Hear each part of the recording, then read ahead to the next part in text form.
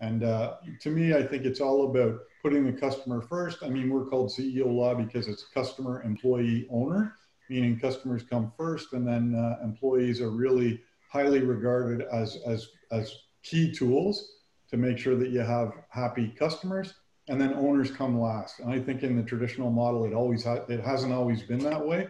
I think there may have been more concern for the owners uh, than the customers. And so I think that these alternative legal service providers will come into the mainstream as customers insist on being treated uh, at the forefront.